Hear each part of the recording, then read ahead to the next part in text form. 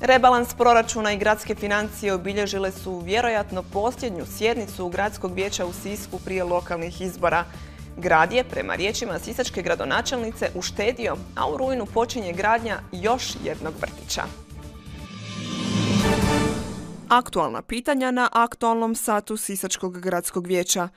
Jedna od nedoumica vijećnika su šuškanja da se grad navodno dodatno zadužio. Neki građani zabrinuti su me pitali, zabrinutost je opravdana, ako se istimo prezentira da se radi o dodatnom zaduženju od 25 milijuna kuna, a iz svih materijala koje su svi vijećnici dobili, uz informacije koje sam dobio raspitujući se u uredima u gradskom vijeću, odnosno ovoj vijećnici, ja uopće nemam taj dojam, mislim da je to zlonamjerno, ko je rekao dodatnih 25 milijuna, pa molim gradonačelnicu da nam ona svima zajedno kaže. Nedoumicu je riješila sisačka gradonačelnica. Od prvog dana, dakle od 2013. isključivo štednja, isključivo financijski odgovorno ponašanje sa sredstvima građana, rekla bih i odgovornije nego sa osobnim sredstvima. I da svega toga nije bilo, ne bi bilo moguće niti prošlu financijsku godinu završiti sa 3 milijuna kuna plusa, niti bi bilo moguće ove godine isplatiti uskrsnicu zaposlenicima u gradskom sustavu i našim dragim umirovljenicima.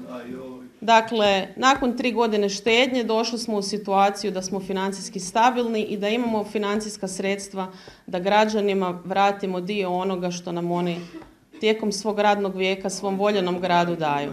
Rebalansom proračuna osigurano je refinanciranje postojećih kredita, naglasila je gradonačelnica. Osiguravamo otkup e, sportske dvorane u Budeševu koje je do sada financirano kroz financijski leasing i e, osiguravamo sredstva za dovršetak dvorane, ledene dvorane, dakle drugu fazu opremanja koji je i bio predviđen u proračunu tek 2018. ali smo mi zaključili da 2017.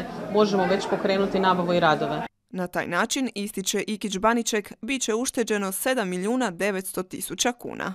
Postojeće loše kredite e, stavljamo dakle na znatno nižu kamatnu stopu od 2,75% i e, dvoranu koju bi ukupno e, trebalo platiti 19,6 milijuna plaćamo znatno niže i tu dakle sada kroz otkup 7 milijuna plaćamo. Ove će godine u Sisku početi gradnja još jednog vrtića zahvaljujući donaciji vlade SAD-a koja će financirati gradnju vrtića na Viktorovcu. Upravo ovaj rebalans danas i je zbog toga jer si je grad Sisak preuzeo obavezu plaćanja PDV-a i stručnog nadzora na tom projektu, stoga smo morali imati proračunsku stavku, a sve ostalo, dakle, samo odabir izvođača, projektanta i same radove će financirati vlada SAD-a. Početak radova na izgradnji planiran je za rujan. Nakon toga više ni jedan vrtić u gradu neće biti u najmu, a bit će povećani i kapaciteti u vrtićima.